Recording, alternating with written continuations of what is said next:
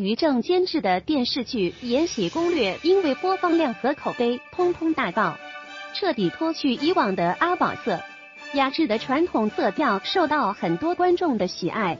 这一点也是于正引以为傲的点。可是从网友爆出的图片来看，TVB 版的《延禧攻略》经过剪辑之后，将大陆版的滤镜全部撤掉了。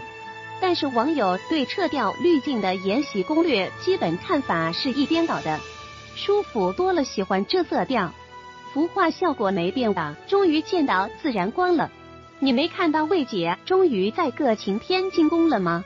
竟然还比较好看，TVB 改片头了，感觉不如在内地的版本片头有味道，用了粤语歌，我看画面没有太大区别，内容也没什么变化。高贵妃的配音也是吊嗓子的感觉，很贴合内地版本。TVB 近年来的古装剧越来越不行了，可能是没有内地财大气粗的原因吧。更好了，还好吧。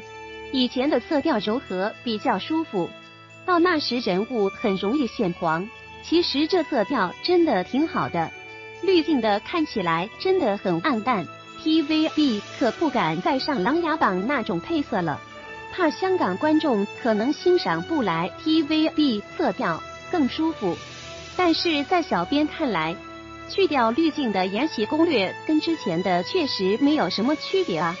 《延禧攻略》的每一帧画面都堪比画，美到了极致，靠的是构图和摄影，而不是滤镜。但是因为每一个妃子都做的是别差不多的地方。再加上泛黄色调，所以会让人容易审美疲劳。但是人家的构图真的是非常出色的，而且内地版的《延禧攻略》的片头真的非常好看。不说口碑和演员演技这些，《延禧攻略》的服化道真的是碾压《如懿传》的。